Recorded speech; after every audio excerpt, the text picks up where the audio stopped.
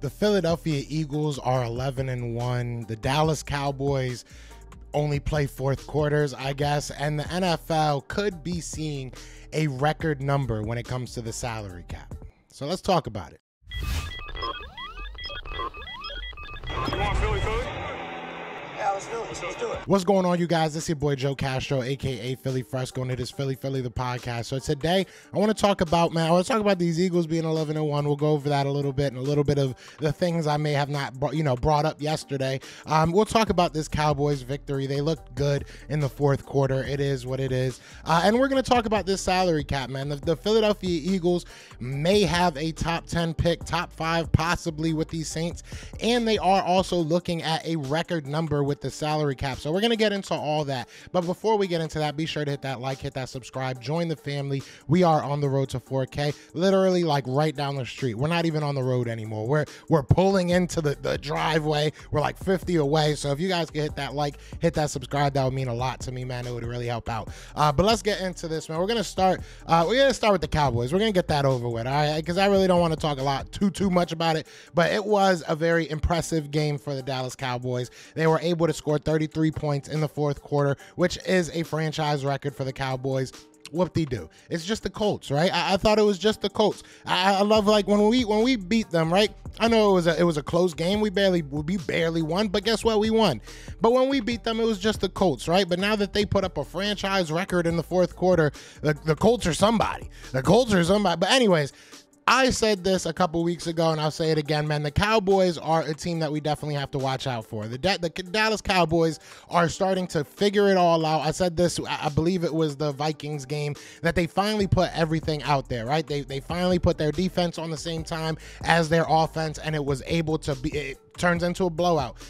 The Dallas Cowboys, when they are clicking on offense, they are a very tough team to stop. CeeDee Lamb is getting force fed the ball, and he is making the most of his opportunities. And it is what it is. He has made some great plays. Michael Gallup made some really big plays for them yesterday. And that run game is starting to get together. They're finding a good balance between Tony Pollard and Ezekiel Elliott. So, they, they, look, the Cowboys our team we're gonna have to beat again this year. We're probably might I don't want to say probably, but we might have to see them in the playoffs, right? Depending on how things work out, we might have to even see them a third time. So.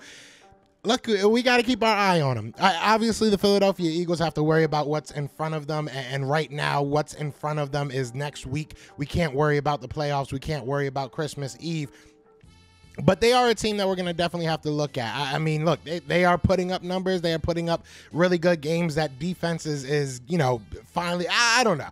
I'm not like overly worried. At the same time, you you did give up almost 21 points to the Colts, who we gave up uh, what 15 to. And I'm not saying that that's the biggest of deals, but your defense to me is still your marquee. So if your defense is getting got, I feel that if if the Colts can put 15 on or uh, put uh, 20 on you guys, I think the Eagles can put up a little bit more. And, like we said before, you look at the Titans game, right? You look at the Eagles versus the Titans. We put up more points on them since anybody, uh, since week four, I believe, in the first half. We, we, we literally put up more points than any team has been able to through a full game against the Tennessee Titans in the first half. You look at the Cowboys, we put more points up against the Cowboys than any other team in the league at that point. Up until that point, obviously the Bears, you know, one upped us. But at the end of the day, I'm not too, too worried about the Dallas Cowboys, like I said, but it is what it is. They are on our schedule. They are a team that we're most likely going to have to beat at least one more time. If, if we don't beat them in the regular season, we probably will see them in the postseason, and we're going to have to beat them. It is what it is. So we'll see what happens there. Congratulations, Cowboys. I know that's what you guys wanted to hear. You, you, you did it. Yeah, you guys did it. Whatever. Uh, but look, the, the Eagles. Let's let's let's get back to the Eagles.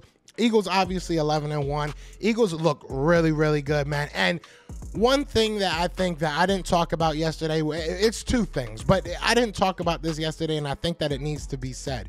You look at Reed Blankenship and how he was able to come into the game and make an impact. He has played very well he, in my opinion, has played very well. J- Josiah, Josiah, Scott made a couple good plays last uh, uh, game, last night, I should say, or yesterday.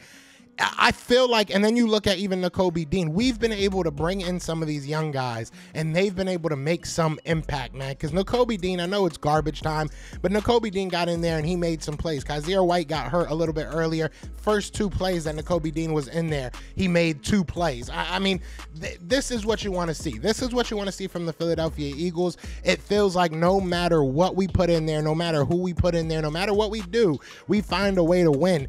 I don't I don't love the penalties, right? I, I, don't love the penalties, but that was an outlier in my opinion. I don't think that that's going to be something that will continuously happen, especially when you're looking at Jordan Mailata, you're looking at Landon Dickerson, you're looking at Jason Kelce. These are our guys. These are these are our. If it was Isaac Seumalo getting four or five false starts, I'd be a little bit worried. I, would be like, maybe we got to figure something out. But it's not. And even to that point, Landon Dickerson goes down a little bit. Andre Dillard goes right in we I've said this time and time again. I said this in the beginning of the year. Andre Dillard's value can only go up if he can learn other positions. I said it when everybody was trying to say, you know, trade Dillard, trade Dillard. I felt that he was a variable, very valuable piece to this team, and we finally get to see it again. There's been a couple times where players have went down, and he's had to go into that guard position. And honestly, I didn't even know he was in there. If you didn't, if I didn't know that Landon Dickerson hobbled off and that Andre Dillard went in there, I would have never known. I would have never told the difference because you didn't see anything.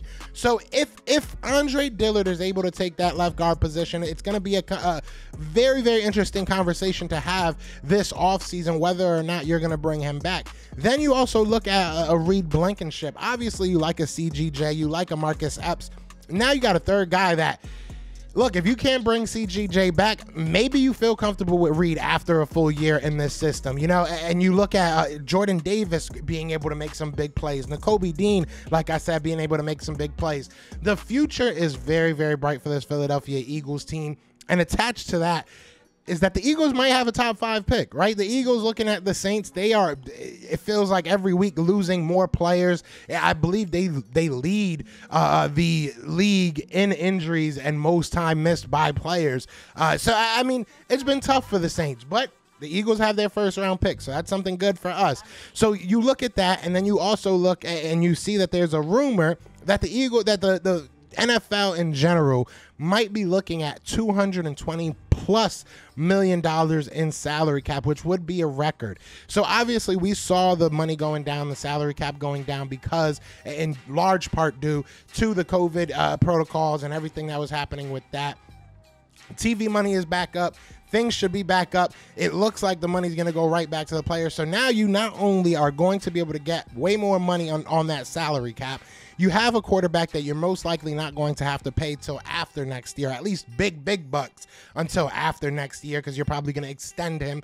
Um, you look at that, right? And then you add in that you have most of eh, your offense already under contract. I mean, there's not many guys outside of a Miles Sanders, if you feel you want to bring him back who are you really scratching your head over? You have your wide receivers locked up. You have your tight end locked up. You're going to get your quarterback locked up. You have most of your offensive line, you know, figured out, especially when guys leave, right? The only thing that can kind of throw a wrench into this whole plan is if Lane Johnson is to, you know, decide very early that he wants to go. But I don't think that's going to happen. Knock on wood. Let's all pray that that doesn't happen because I have a bad uh, habit of, of calling things into play. So I love what what's going on right here. The, the, the future of the Philadelphia Eagles is very, very, very bright. The immediate future and the distant future. So look, a, a quick recap. This is just a quick video I wanted to get out in the morning. Quick recap. I'm not afraid of the Cowboys. Every team should be afraid of the Eagles, and the Eagles are only going to get better. So I'm excited, and I hope that you guys are as well. Let me know what you guys are thinking. How did you feel being able to see some of these rookies go out there and play some um, meaningful snaps? Right? Um, are, are, you worried about the Dallas Cowboys? Because I know I, they look good. It is what it is, but I'm not worried. Uh, and how do you feel about this salary cap, man? How would you uh, realistically? Utilize that salary cap. We might be looking because the Eagles already have around $30 million in free salary cap. With the change in the salary cap, you know, it going up to 220 million, we could be looking at a possibility of being able to re-sign all these guys that I was worried we wouldn't be able to. Maybe we get James Bradberry back. Maybe we get everybody back and we just run it back, bring on some rookies, and, and get even strong. I mean, the, the possibilities are endless. The possibilities are endless for these Philadelphia Eagles, and I hope you see it. I hope you see it because there's going to be a lot of haters that don't. But other than that, man, uh, I, I might be live later tonight. I, I, might be back later tonight. We'll see how life uh, treats me. But y'all let me know what y'all thinking in the comments. Other than that, y'all know what it is. It is Fly Goes Fly. And we are out here. Peace. Eagles fans everywhere, this is for yeah. you. Fly on the team. Touchdown, touchdown. Time to get this ring. You don't really want to start a thing. This a bird nation, baby. It's a Philly thing. Hater, and you looking like you type trash. I'm just here cool